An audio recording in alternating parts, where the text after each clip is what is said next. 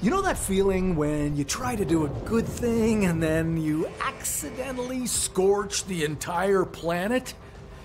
Yeah, the future can be terrifying. Lasers, artificial intelligence, nanotechnology. Soon, science will become so advanced that you'll be able to move objects with the power of your mind. But some of these advancements have the potential to end all life on Earth as we know it. Today, we'll be looking at five technologies that could save and destroy us all at the same time. Now, before we look into the future, let's go way back into the past. 66 million years ago, an asteroid busted its way through space and collided with Earth. It caused a mass extinction event and wiped the dinosaurs right off the face of Earth. A threat like that?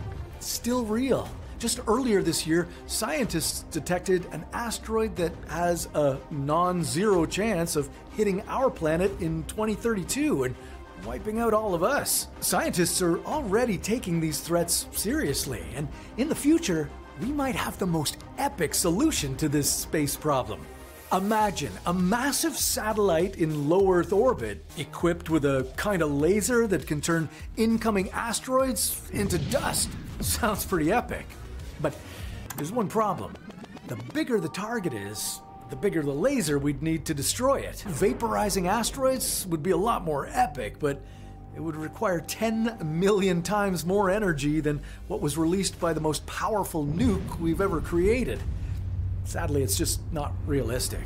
But lasers can do some pretty amazing things. Like an ultra precise laser could make it rain. It would fire short and intense pulses into humid air and trigger chemical reactions that create droplets. When enough droplets come together, then they'd rain down. Lasers can be our solution to unlimited renewable energy from space. That's right, we would launch special satellites equipped with reflectors and laser power transmitters. These satellites would capture solar power, convert this power into laser beams, and then transmit it back down to Earth where we could use that energy in our power grid. Lasers are awesome, but we've seen enough sci fi movies to know they can also destroy humanity as we know it. If Earth had a system of lasers around it, imagine what a country or a corporation on the path of war could do with them. Remember, we're talking about a laser powerful enough to move asteroids. Just one misfire from Earth's orbit could obliterate an entire city. Or if we're talking about an extremely powerful laser from the future, a misfire could be the end of an entire planet.